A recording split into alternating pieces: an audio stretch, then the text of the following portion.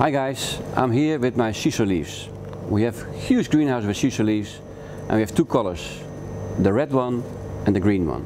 The red shiso is used to dye for instance ginger.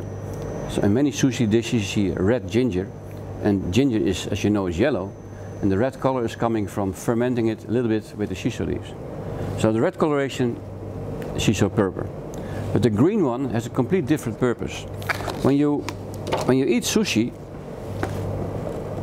and you see it served, you see this plastic dented leaf, this plastic leaf, dark green, darker than this. But this is the real one. This is the real dent. And why is in Japan this product so much linked to sushi? In the older days, the sushis uh, were also consumed in Japan, but a bit further from the coast, the fish was not always that fresh as it is today with all the modern techniques. Shiso is family of the thin nettle. And maybe you know thin nettle has a kind of healing effect on your stomach. Same with this product.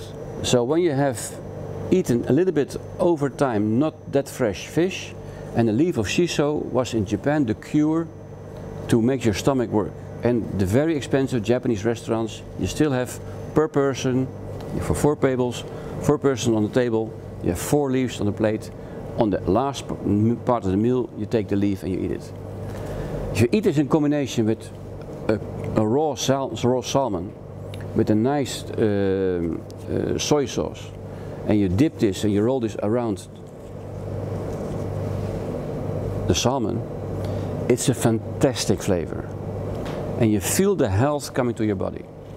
So yes, I know that we are serving a lot of sushis with plastic paper, plastic uh, material, but this is the real one.